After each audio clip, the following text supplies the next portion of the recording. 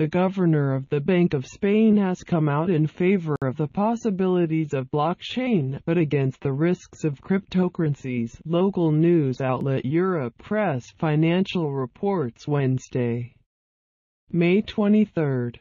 Luis Maria Linde referred to blockchain as a technology that offers interesting possibilities, but is yet not quite mature, in a speech at a meeting of leaders of the financial sector organized by Deloitte and two Spanish organizations.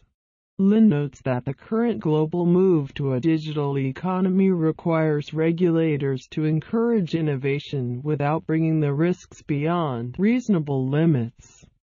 The move to a more digital economy is accompanied by greater cyber threats and it is necessary to develop new measures to protect processes, assets and customer data. In regards to cryptocurrencies, Linde believes that they currently present more risks than benefits, calling them spurious novelties that do not provide significant improvements and should be tackled as soon as possible.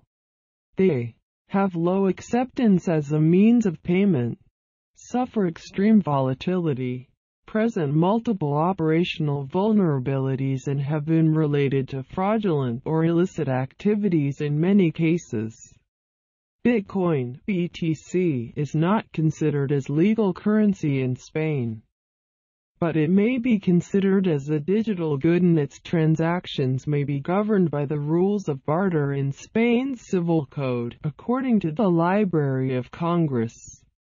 At the end of April, a Spanish multinational bank BBVA became the first to conduct an entire loan process from negotiation to signing using blockchain technology.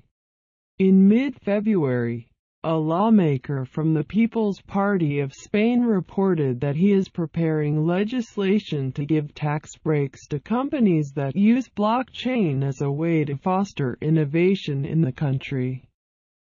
Thank you for listening to my channel. Please subscribe for get hot news in the world.